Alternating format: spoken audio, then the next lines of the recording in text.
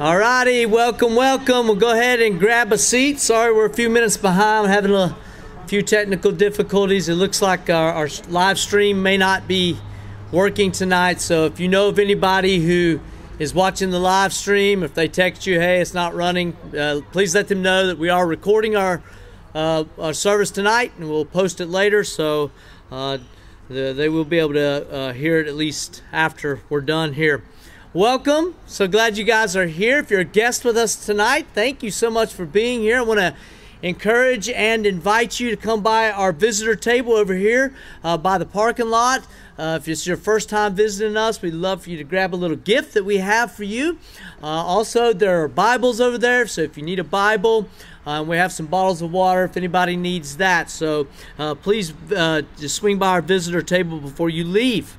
I uh, want to remind you that uh, we are promoting Manifest this month, uh, which is uh, a ministry that Because We Care Ministries down in Nicaragua does every year, uh, where they fill their their big this big room full of food uh, that gets distributed to villages all around Nicaragua, and so we want to encourage you guys to give to that. Uh, every bit of the, the money that is donated will go to directly to buying food that's going to be delivered uh, via the team uh, at Because We Care Ministries. Uh, and, and, people are going to get fed. Uh, people who are in real need are going to get fed, and, and they're going to get fed the gospel as well. And so I encourage you, you can do that online. There's a place for you to designate that, or if you want to write a, a check or, or cash, just make sure you designate it for uh, either manifest or because we care ministries, and we'll make sure we get that to the right place. Um, and if you want to do that, there's an offering box over here on that table. That's also where you can worship the Lord through your giving. One more announcement, and then we're going to stand and sing some worship songs together. This is an exciting one. In a couple weeks, on October 18th, we're going to be doing a baptism. Woo! Yeah, there you go. Uh, now, whether that baptism is out here or inside has a lot to do with how the Lord blesses us that day with weather. So that's going to be a game time decision. But uh, we want all of you guys uh, to be praying uh, for Kate and Stephen as they prepare to, to publicly proclaim their faith in Jesus Christ through baptism that day. So it's going to be awesome. Just circle uh, that on your calendars. All right, guys. Oh, and one one more uh, housekeeping note. You are welcome to go right through this door by me while I'm preaching. You will not disturb me. I live with children. I have to do everything in a distracted way, okay? Uh, you can go right through there to the bathrooms. If you're not comfortable with that, the door around here down the steps is propped open.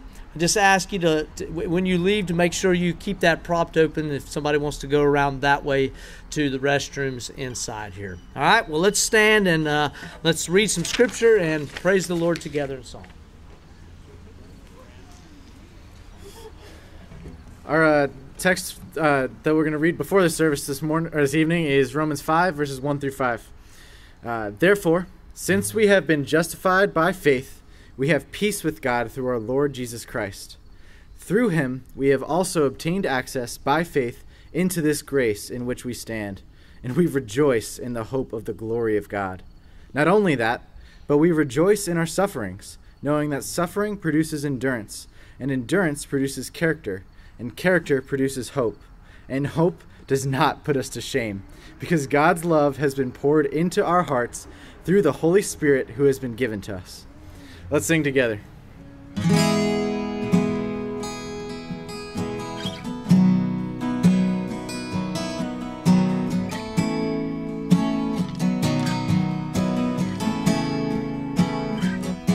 You set us up.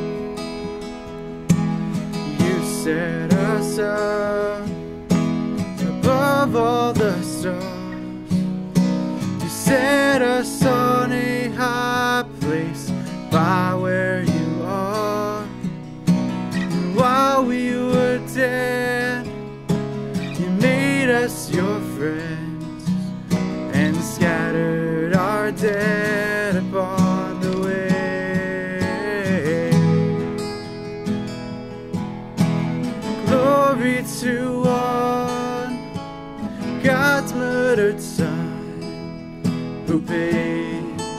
my resurrection.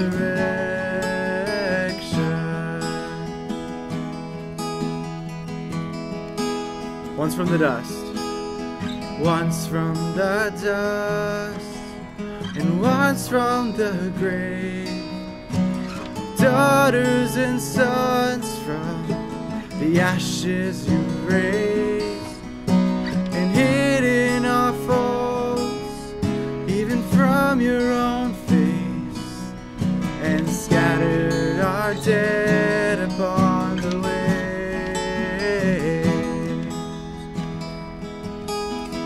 Glory to one, God's murdered son, who paid for my resurrection.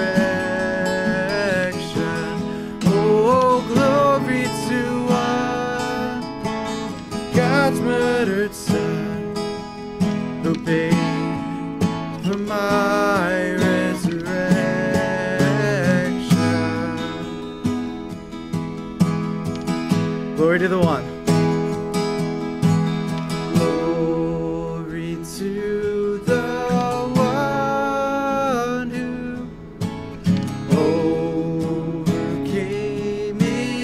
in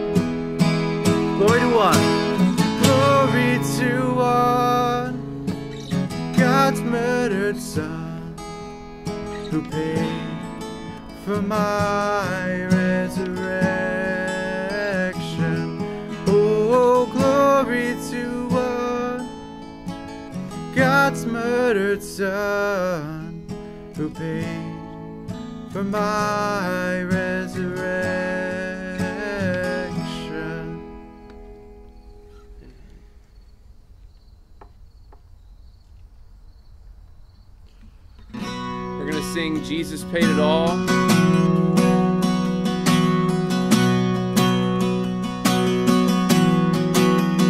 I hear the Savior say, Thy strength indeed is small. Child of weakness, watch and pray. Find in me thine all in all. Did Jesus paid? Jesus paid it all? All to him I owe. Sin had left a crimson stain. He washed it white as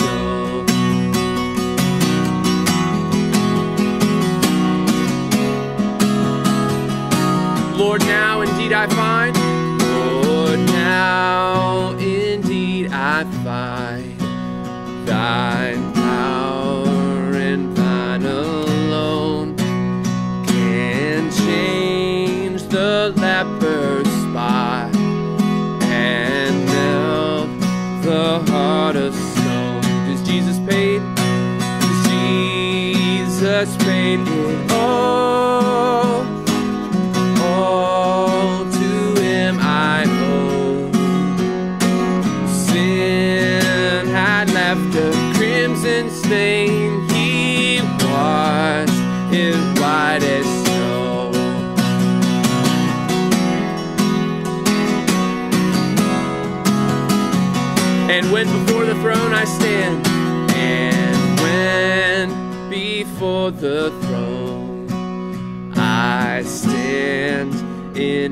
complete. Jesus died my soul to save. My lips shall still repeat that Jesus paid. That Jesus paid it all. All to Him I owe. Sin had left a crimson stain. He washed it white as snow. Sin had left. Sin had left a crimson stain. He washed it white as snow. He washed it white as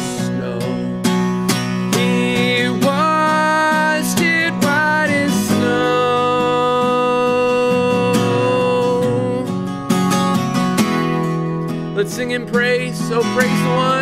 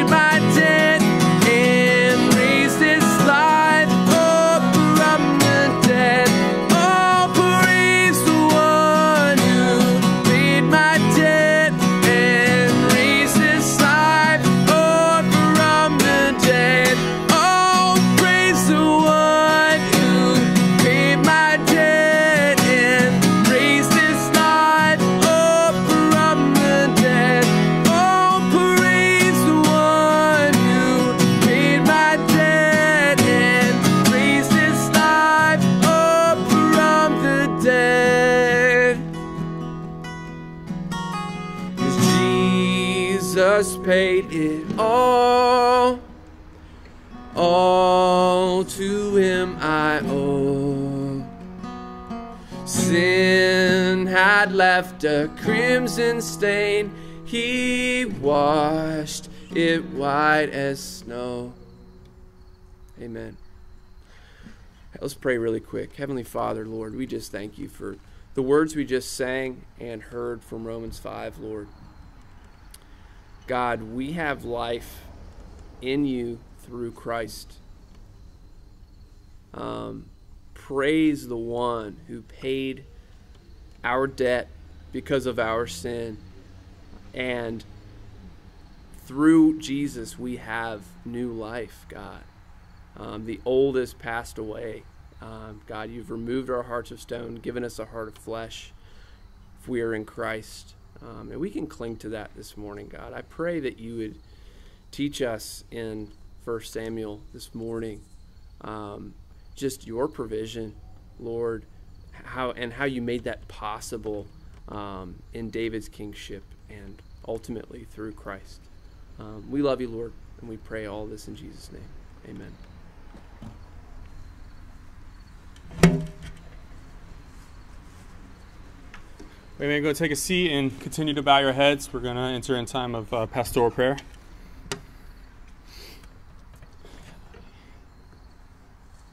Uh, Heavenly Father, Lord God, again, you, Lord, are amazing. Thank you, Lord God, for who you are. You are a holy and just God, and a God abounding in mercy and grace, Lord. Mercy and grace, Lord, that we uh, can never know the entirety of how much grace and mercy you have for us, Lord. For us as sinners, Lord, as, as, as people, Lord, who have been separated from you, Lord, but purchased by the blood of your Son, Jesus, Lord. Like the song we sang, Lord, Jesus did pay it all. He has paid it all, Lord.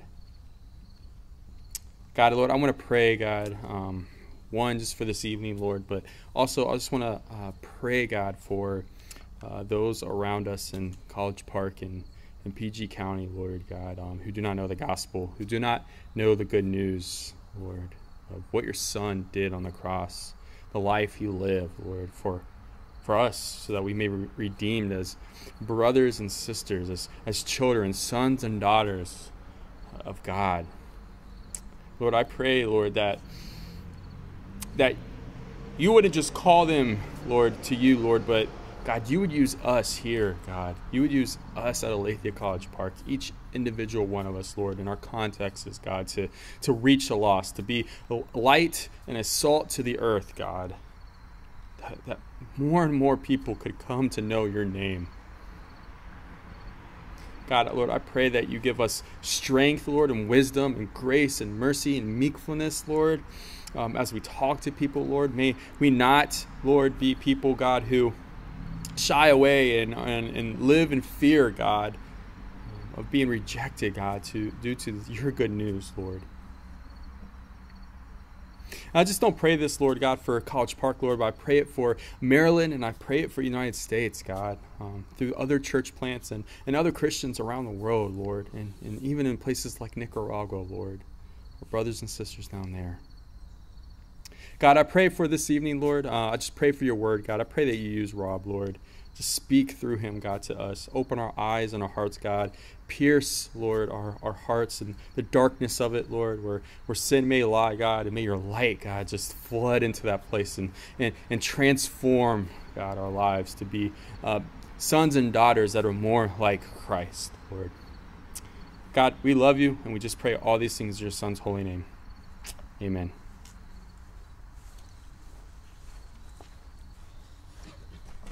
Amen. Thank you, Ryan. Thank you, guys, for leading us in song. If you have your Bibles with you, and I hope you brought them to church with you, I want you to turn with me, if you will, to 1 Samuel chapter 20 as we continue our walk through this wonderful little Old Testament book. I'll never forget that night in those woods.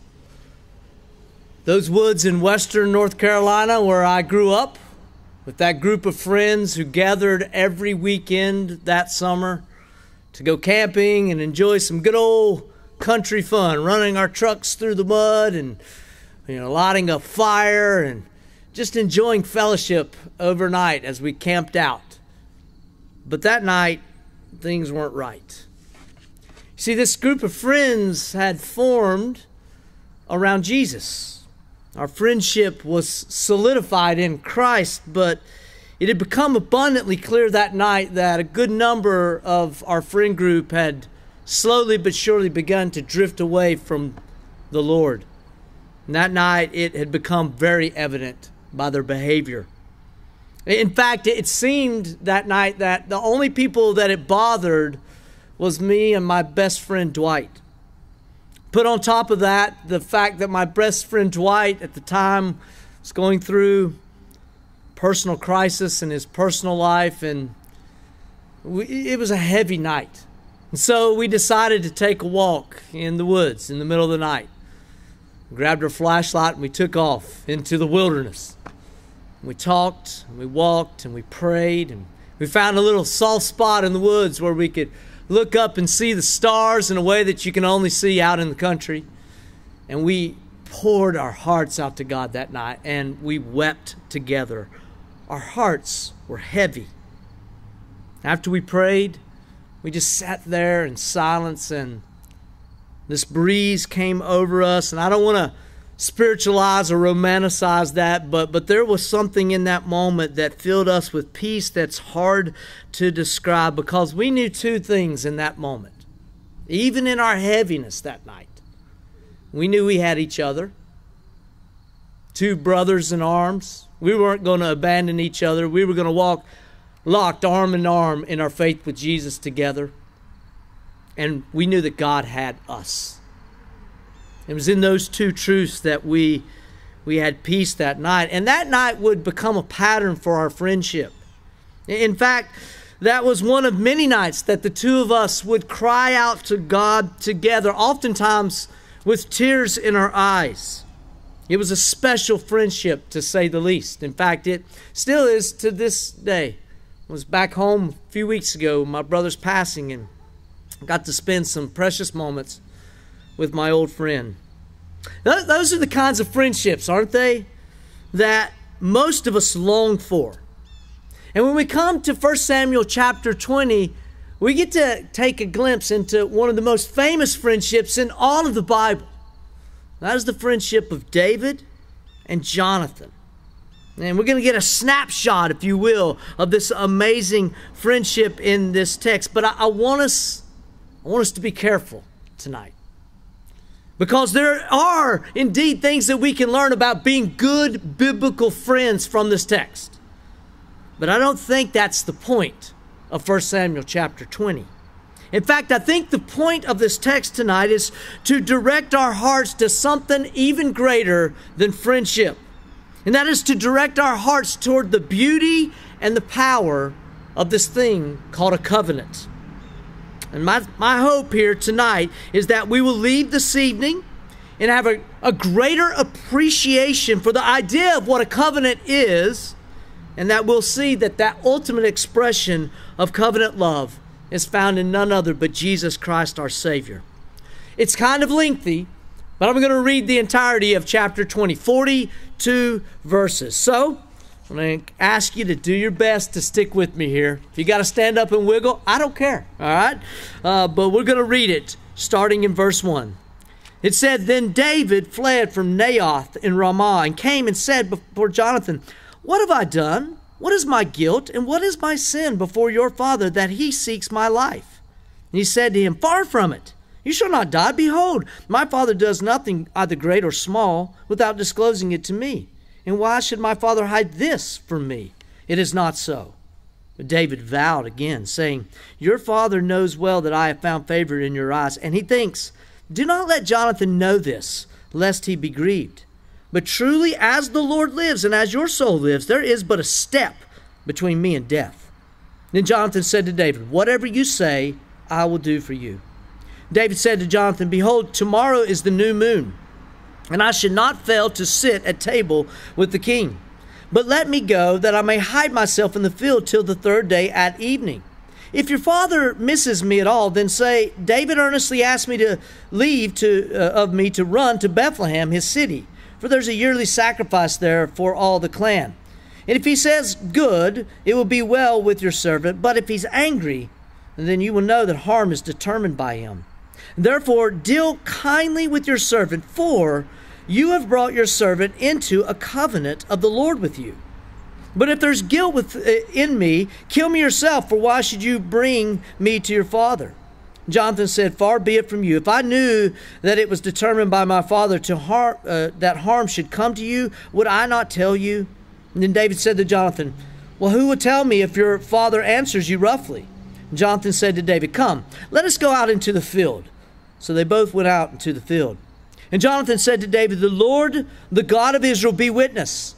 When I have sounded out my father about this time tomorrow or the third day, behold, if, it, if he is well disposed towards David, shall I not then send and disclose it to you? But should it please my father to do you harm, the Lord do so to Jonathan and more also if I do not disclose it to you and send you away, that you may go in safety. May the Lord be with you as he has been with my father. If I am still alive, show me the steadfast love of the Lord, that I may not die. And do not cut off your steadfast love from my house forever. When the Lord cuts off every one of the enemies of David from the face of the earth. And Jonathan made a covenant with the house of David, saying, May the Lord take vengeance on David, David's enemies. And Jonathan made David swear again by his love for him, for he loved him as he loved his own soul. Then Jonathan said to him, Tomorrow is the new moon, and you will be missed because your seat will be empty.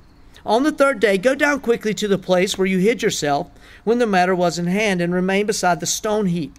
And I will shoot three arrows to the side of it, as though I shot at a mark. And behold, I will send the young man, saying, Go, find the arrows. And if I say to the young man, Look, the arrows are on this side of you, then take them, then you are to come, for as the Lord lives, it is safe for you, and there is no danger. But if I say to the youth, Look, the arrows are beyond you, then go, for the Lord has sent you away.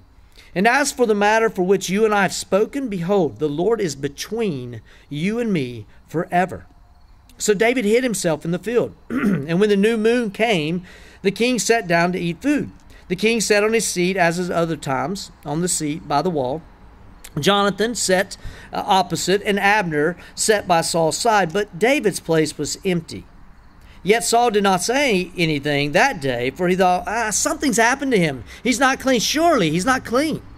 But on the second day, after the new moon, David's place was empty. And Saul said to Jonathan, his son, Why has not the son of Jesse come to the mill, either yesterday or today? And Jonathan answered Saul, David earnestly asked leave of me to go to Bethlehem. He said, Let me go, for our clan holds a sacrifice in the city, and my brother has commanded me to be there. So now, if I found favor in your eyes, let me get away and see my brothers. For this reason, he has not come to the king's table. Then Saul's anger was kindled against Jonathan, and he said to him, You son of a perverse, rebellious woman, do I not know that you have chosen the son of Jesse to your own shame and to the shame of your mother's nakedness? For as long as the son of Jesse lives on the earth, neither you nor your kingdom shall be established. Therefore, send and bring him to me, for he shall surely die. Then Jonathan answered Saul, his father, Why should he be put to death? What has he done? And Saul hurled his spear at him to strike him. So Jonathan knew that his father was determined to put David to death. And Jonathan rose from the table in fierce anger, ate no food the second day of the month, for he was grieved for David because his father had disgraced him. In the morning, Jonathan went out into the field to the appointment with David, and with him a little boy. And he said to his boy, Run and find the arrows that I shoot. As the boy ran, he shot an arrow beyond him. And when the boy came to the place of the arrow that Jonathan shot, Jonathan called after the boy and said, Is not the arrow beyond you? And Jonathan called after the boy, Hurry, be quick, do not stay. So Jonathan's boy gathered up the arrows and came to his master, but the boy knew nothing. Only Jonathan and David knew the matter. And Jonathan gave his weapons to his boy, and he said to him, Go and carry them to the city. And as soon as the boy had gone, David rose from beside the stone heap, and he fell on his face to the ground and bowed three times. And they kissed one another and wept with one another, David weeping the most. Then Jonathan said to David, Go in peace, because we have sworn, both of us, in the name of the Lord, saying, The Lord shall be between me and you, and between my offspring and your offspring forever. And he rose and departed, and Jonathan went to the city. Let's pray. God, thank you for this text. It's beautiful. And I pray that you would speak the beauty of it straight to the depths of our heart, Lord. I pray that your word would penetrate like a sword, Lord. I ask, Lord, that you would help those in this hearing who are believers in Christ to respond, whether it be a repentance or a call to obedience, or whether it be to rest in a promise. And I pray if there's someone here today listening to this message that is not saved, have never put their faith in you, Lord that they would receive salvation, the gift of salvation today. Lord, do it for the glory of your name, I pray. Amen. Amen. Alrighty. Let's note a couple structural components of this text because it's a lot, right? 42 verses here. Let's note a couple a couple things that I think will help us nail down the main idea. First of all, let's look at the bookends of the chapter. It begins with verse 1 saying that David fled to Naioth, or, or excuse me, he fled to Jonathan from Naioth. And then the book ends with David departing once again. Now it says depart there, but we can read between the lines and the circumstance. He's fleeing again, right?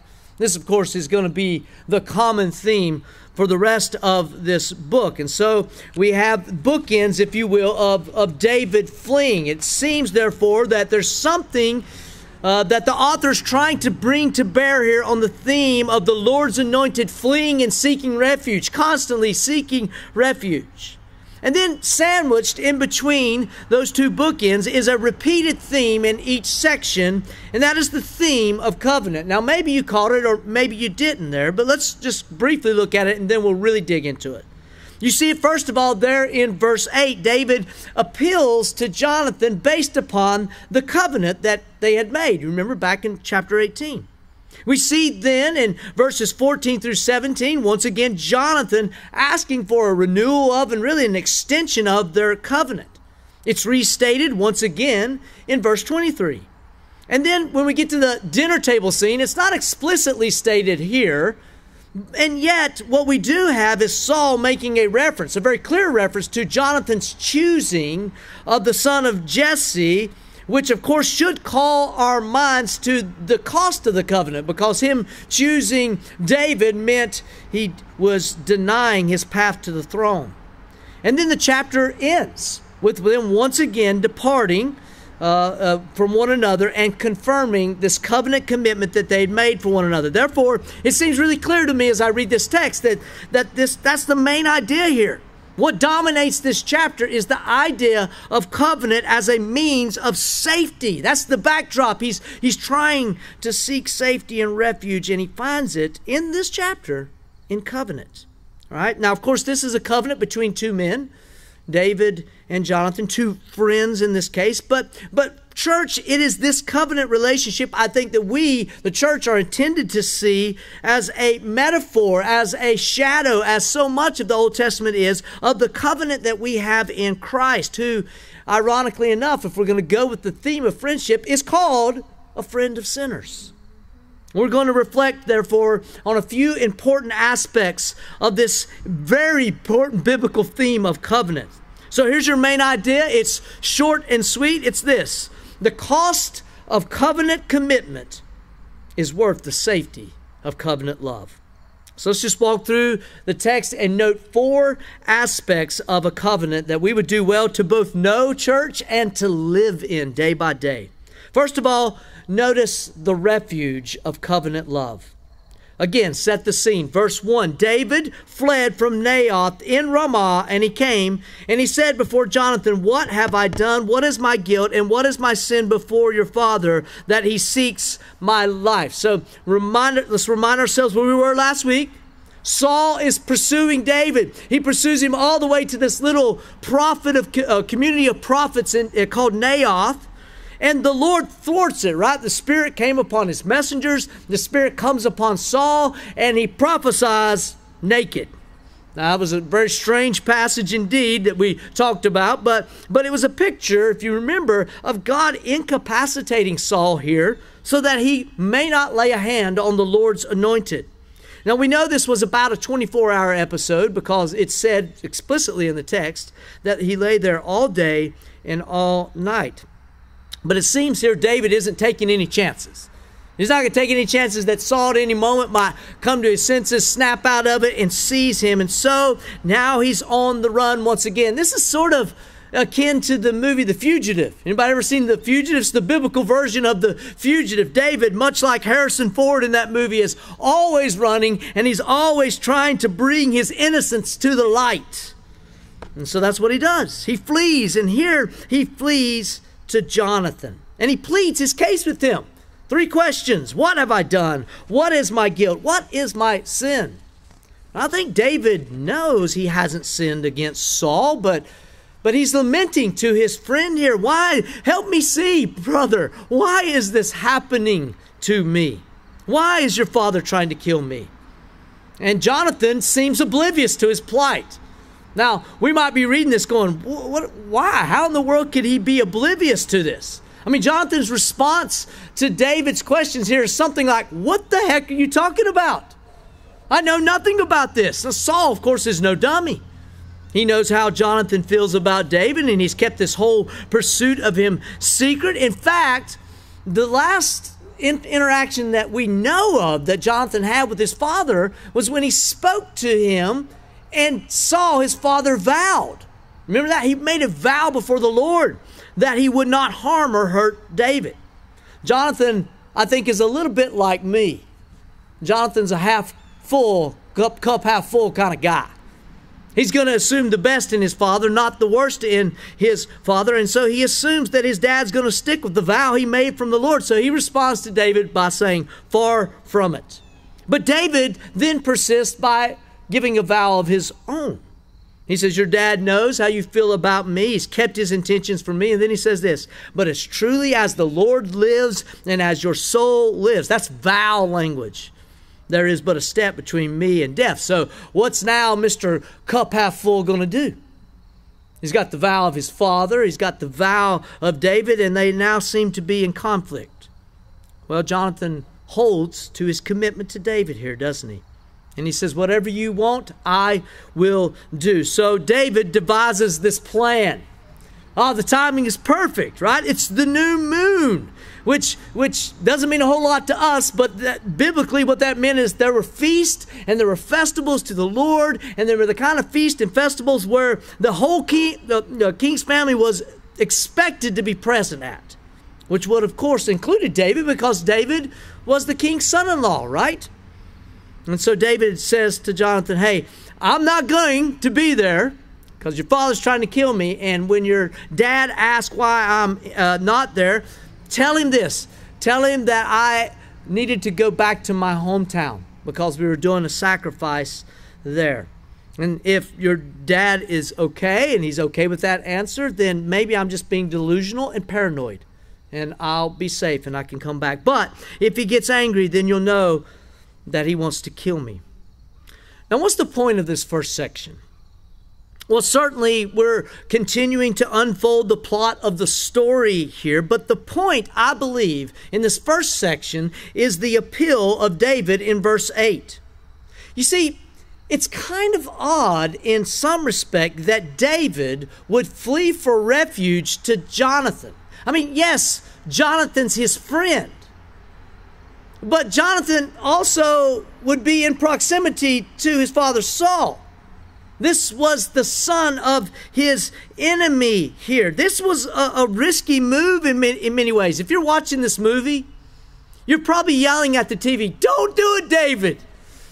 Don't go to Jonathan. I know he's your boy, but blood's thicker than water. You can't trust family like that. Like, please don't run to him. And yet, in this instance, it is David's instinct to run to Jonathan. Why?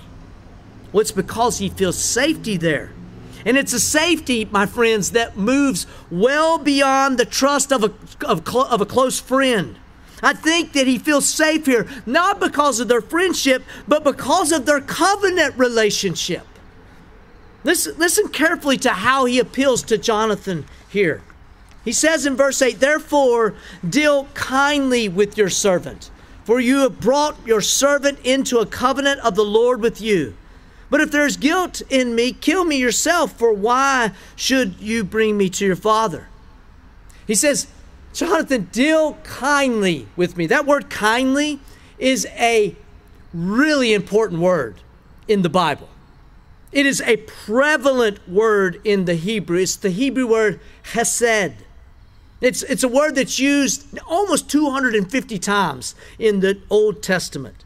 And even though it's used a lot, it's almost untranslatable into English. In fact, if you read this word over and over again, you, you'll get all kinds of different translations of the word. Sometimes it's translated as love, sometimes as mercy, sometimes as kindness, as we have here, or loving kindness. Sometimes as grace, sometimes as loyalty. Certainly we can see loyalty here. What is it? What does this word mean? Well, I love the way the Old Testament uh, scholar, the British Old Testament scholar Norman Snaith defines Hesed. Now, here he's talking about God's Hesed for his people. He says this God's loving kindness, and that's the word, the Hebrew word, is that sure love which will not let Israel go. Not Israel's, all of Israel's persistent waywardness could ever destroy it. Though Israel be faithless, yet God remains faithful still. This steady, persistent refusal of God to wash his hands of wayward Israel is the essential meaning of the Hebrew word which is translated loving kindness or kindly in our context. In other words, guys, Hesed is covenant love. covenant kindness. And that's what David's appealing to.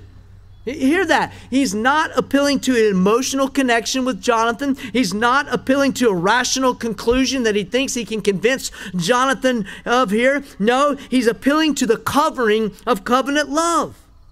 That unique kind of love that combines warmth and loyalty with faithfulness and compassion.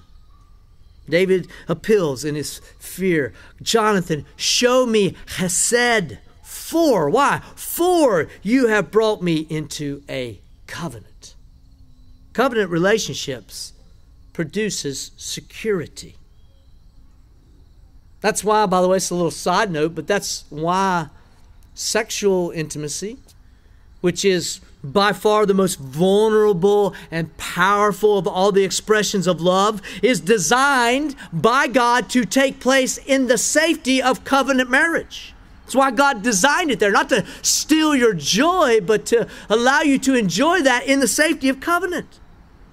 So, why did David run to a potentially dangerous spot? Because it was there that he could take refuge in the safety of that covenant love. Friends, how instructive is this to us, Christians? We live in a world that is full of brokenness and uncertainty, a topsy turvy world, if you will. We are hard pressed on every side. In the words of the Apostle Paul, we are afflicted, but not crushed. We are perplexed, but not driven to despair. We are persecuted, but not forsaken, struck down, but not destroyed. Why? Because we have the refuge of the covenant love of our God through His Son, Jesus Christ. The kind of love that will never forsake us. The kind of love and commitment that will hold us in the storm. As that, my friends, is where we must run when life closes in on us. That is where we must run when we are confused and hurting and pressed in this life. We must run to the promises of Hesed, of the new covenant in Christ, which is something we're going to meditate on and celebrate in a moment when we come to the table, the Lord's table. So, covenant is a place of refuge. But secondly, notice here that the, the release of covenant commitments. David says, okay, great. How are we going to know the results of this test? So Jonathan says, let's, let's go out in the field and have a talk. Seems like a lot of the dialogue in this text happens out in the field, doesn't it? Now, this story, strangely enough, could really easily omit verses 12 through 17. They, they, they're really unnecessary for just the plot here, right? That you could seamlessly jump from verse 11 how, how am I going to know what happened at the dinner table to verse 18? Here's how. Here's our little cloak and dagger thing. In fact, verses 12 through 17 almost interrupt the flow a little bit. But that probably means they're really important. Jonathan says, The Lord God of Israel be witness. So now he's putting himself here under the accountability of God. God be witness. I'm going to reveal to you what I find out about my father's intention, intentions, he says. And he says, May the Lord be with you as he has been with my father. Now, that probably doesn't shock most of us when we read it, but that is a shocking statement. In, a, in that little statement there, may the Lord be with you as he's been with my father, Jonathan is essentially, once again, now, now with his words, releasing his self rights. The crown prince here is seeing something in the future, and as we pointed out in chapter 18, he is submit, submitting himself to a future reality. John Woodhouse comments on this text. He says, This is astonishing. The Lord had been with Saul for the purpose of his being king. He had been the one the Lord had chosen. So for Jonathan to ask that the Lord be with David as he had been with Saul was to ask that David should be king. Such incredible self denial. And this is what covenant relationships look like. This is what a covenant relationship looks like. That's the nature of covenant relationships deference and dying to self. That's true for any of you who are married or aspiring someday to be married, and it's true of the Christian. It's important here. Jonathan is not just acknowledging it. In that statement, he seems to be asking God to accomplish it. It's like the Christian praying, not begrudgingly, but joyfully, Your kingdom come. Your will be done on earth as it is in heaven. And then, in an ironic turnabout in this particular story, remember, David's fled to Jonathan. It seems here now that Jonathan turns to David for refuge. Notice in verses 14 through 17, Jonathan releases his self reliance. Look, look, look at, at, at 14 through 17. He says, If I am still alive, in light of this declaration that you're going to be king, if I am still alive, show me the steadfast love, there's that word again, hesed, steadfast love of the Lord that I may not die. And do not cut off your steadfast love for my house forever when the Lord cuts off every one of the enemies of David from the face of the earth. And Jonathan made a covenant with the house of David, saying, May the Lord take vengeance on David's enemies. And Jonathan made David swear again by his love for him, for he loved him as he loved his own soul. Jonathan says, Hey, if it's true that my father intends to harm you, I'll warn you, David, so that you can be safe as an expression of my committed covenant to you. But let's extend this commitment I'm going to be faithful right now, trusting that you're going to be faithful in the future. If I'm alive when you become king, then please spare me. And, and, and if I'm not, then please do not cut off my family. You see, in, in those days, if a new king from a different bloodline came into the kingship, well, it was just good politics to wipe out any potential threat from the family that was on the throne, that previously on the throne right? You wouldn't just dispose of the king or even the next in line. You would wipe out his whole family. You've probably watched movies where that's happened before. You know, that was a safety measure for your newly acquired throne. So Jonathan asked here, hey, when you come to your kingship, don't do that to me. He's asking, you see this? He's now asking for covenant covering from that kind of eradication.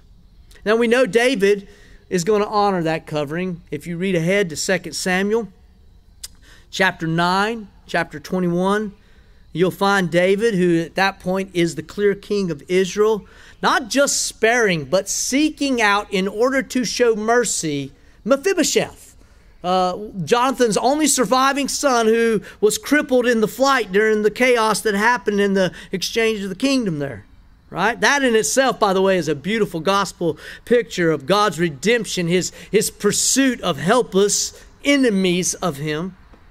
But here, let's just marvel at Jonathan's faith for a moment. The writer of the book of Hebrews says that faith is the assurance of things hoped for, the conviction of things not seen. Is that not what beautifully is being modeled here by Jonathan?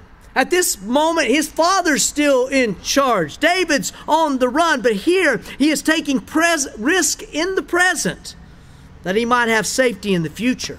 He is dying to self in the present that he might be saved in the future. You see, that's what faith does. It acts in the now because of the assurance of what lies ahead, even though it's not yet seen.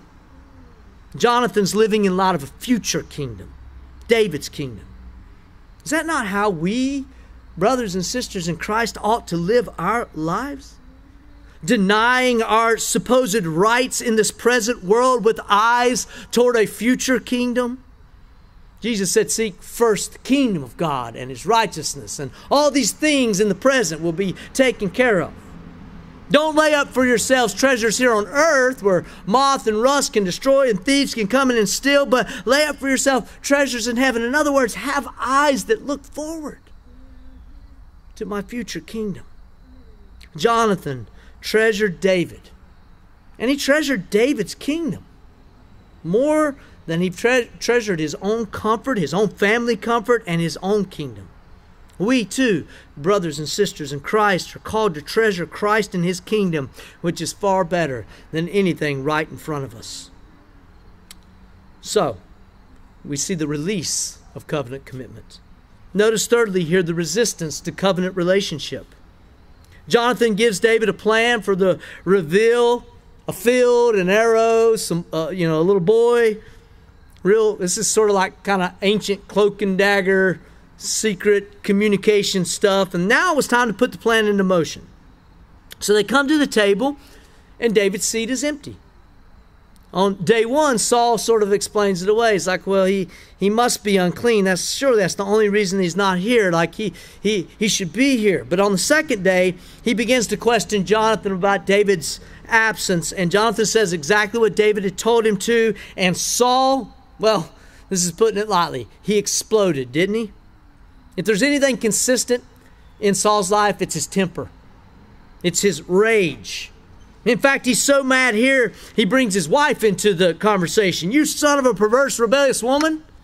Do I not know that you have chosen the son of Jesse to your own shame and to the shame of your mother's nakedness? For as long as the son of Jesse lives on the earth, neither you nor your kingdom shall be established. Therefore, bring him to me, for he shall die.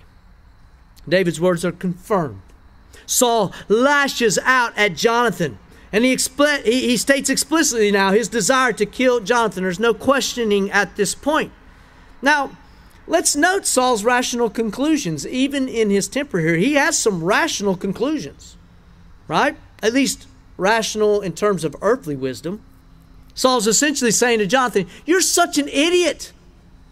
Don't you see what you're doing? You're shaming your family origin by choosing him over us. That's what it's meant there to the shame of your mother's nakedness. And secondly, as long as don't Jonathan, open your eyes. Don't you know as long as David's alive, your hopes for the kingdom are dead? That what that wasn't slander. That was true. As devotion to David meant a rejection of his father and a rejection of any ambition that he might have to sit on the throne. Right? But it was a cost that Jonathan here was willing to pay. He stands up for David. He essentially asks the same questions David asked Why do you want to kill him? What has he done? And at that moment, if the words weren't enough, the truth was solidified by action. Saul, who's always got his spear with him, now hurls it at his own son, Jonathan. Saul and his spear work again. Now it's Jonathan, his son, who's the object of this attack. That's a helpful association for us, by the way. Jonathan because of his covenant relationship and commitment to David, is now experiencing the very same hostility that David experienced. That sound familiar to anyone? Jesus said, did he not? In John 15, 20. I'm going to let those get by. In John 15, 20, a servant is not greater than his master. If they persecuted me, they will persecute you. Guys, we, we shouldn't be surprised ever in our lives when the world casts at us the hostility it really feels for Christ. There will always be resistance where there is covenant. But note Jonathan's choice. Saul rightly said, You have chosen the son of Jesse because Jonathan gets up and leaves. One commentator noted that this meal started with an empty with David's seat empty and it ended with John's, Jonathan's seat empty as well.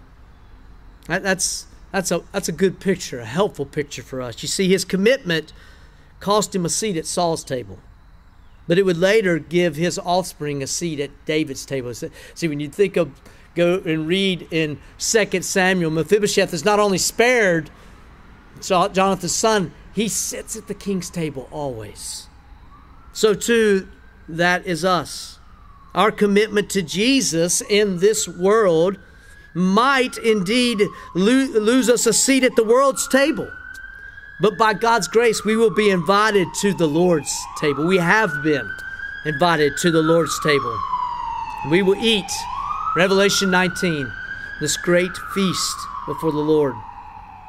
So we've asked that question over and over again in this, te- in this book. Is Jesus worth it? He is. He is.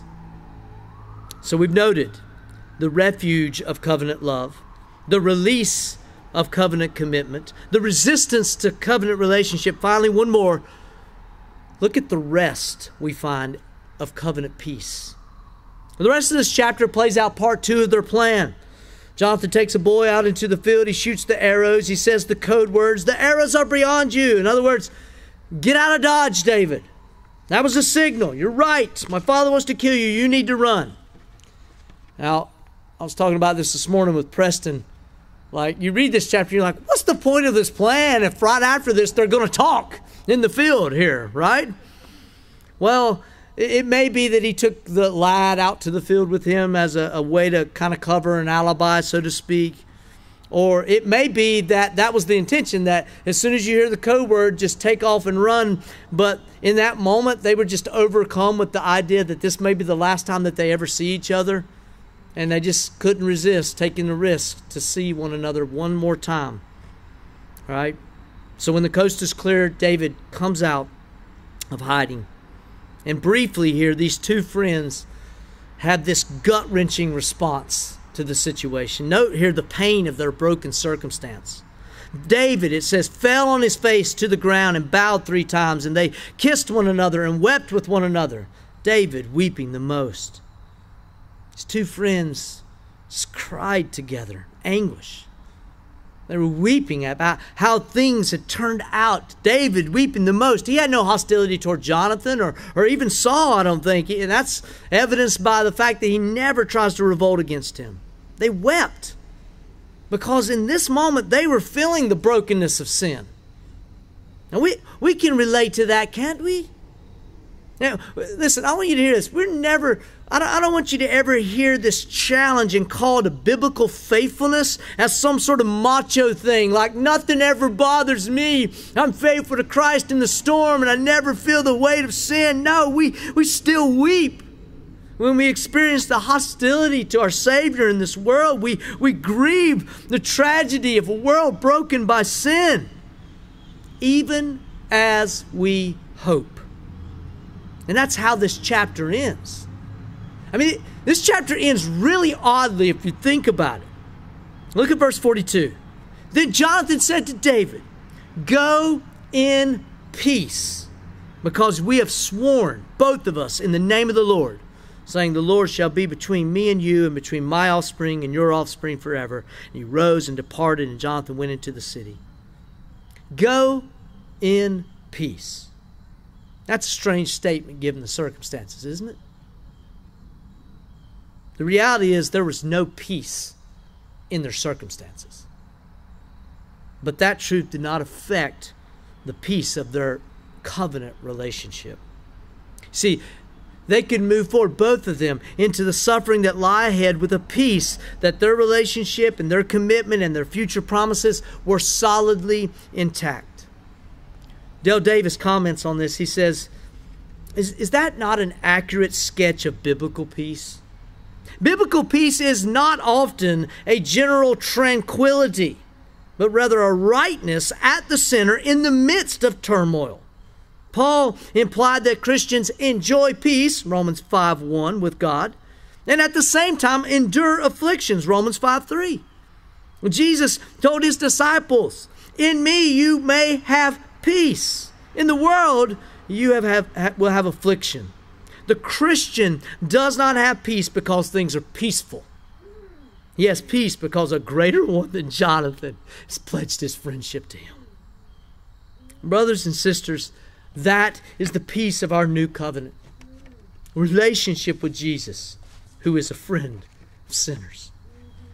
If we expect rest, and relief from our circum only by relief of our circumstances and, or a change in our circumstances, we will often find ourselves disappointed, frustrated, restless, distraught. But we can find rest in the hesed of our covenant keeping God. So, where does this text find you tonight?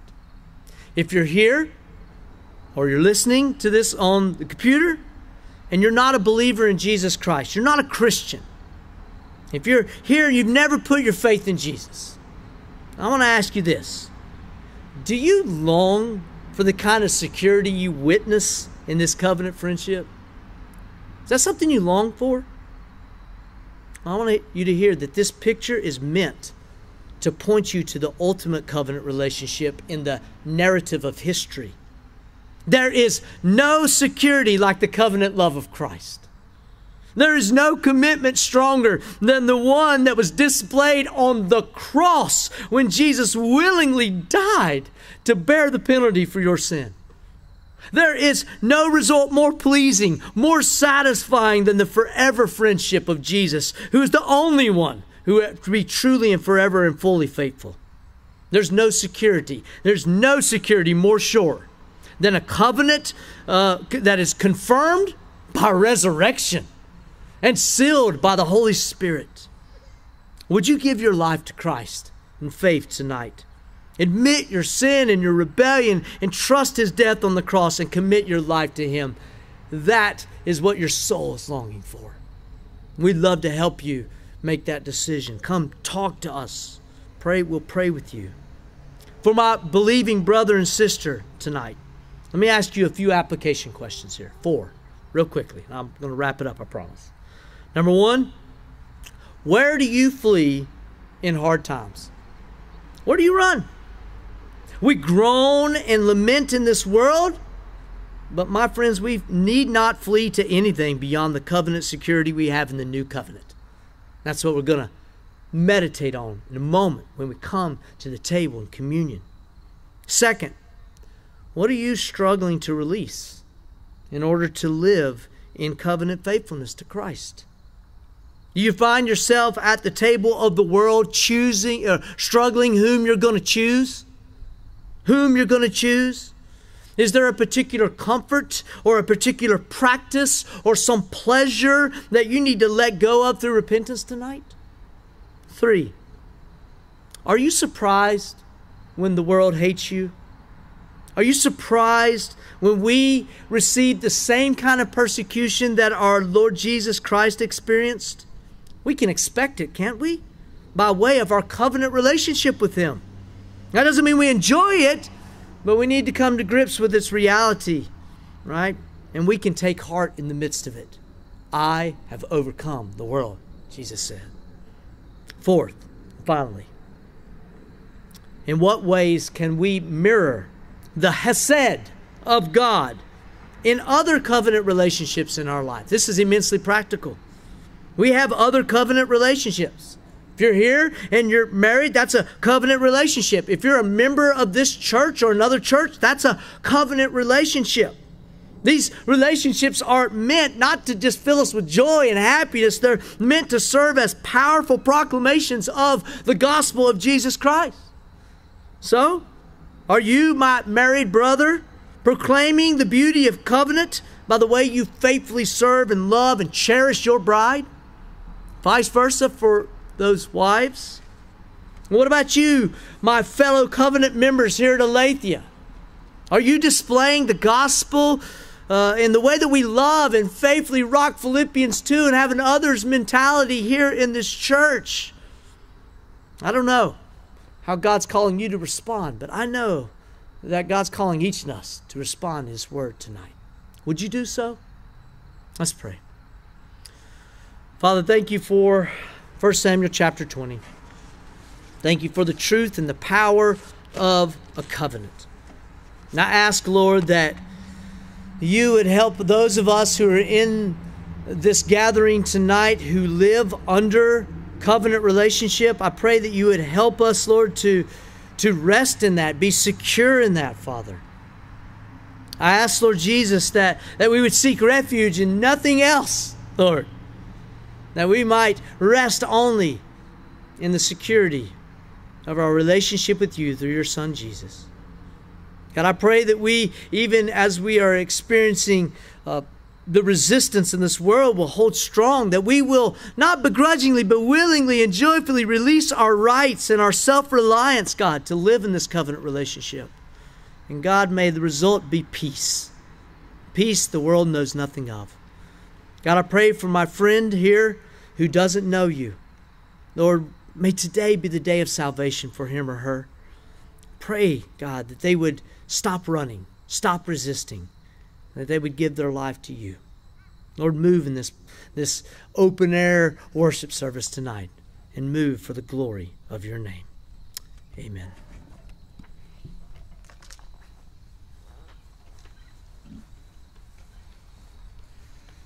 Amen. Let's uh, let's stand and sing together. Be thou uh, my vision.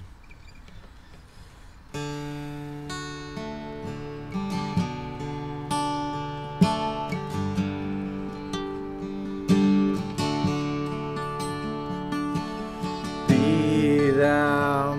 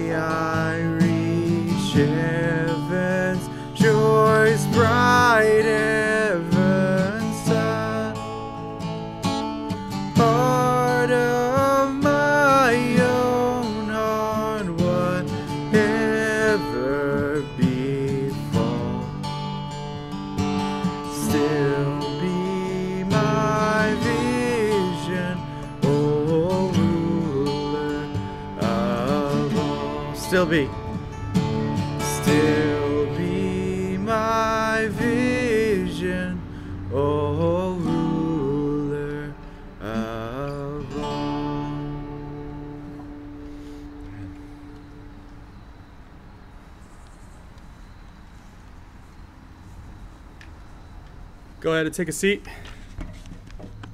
We are now going to prepare to take communion. Uh, and much like baptism, which we're going to celebrate in a few weeks, communion is a gift to the church where baptized believers get to publicly remember Jesus' life, death, and resurrection and publicly proclaim that his broken body, which is represented by the bread, and his shed blood, which is represented by the juice, are our only hope for forgiveness.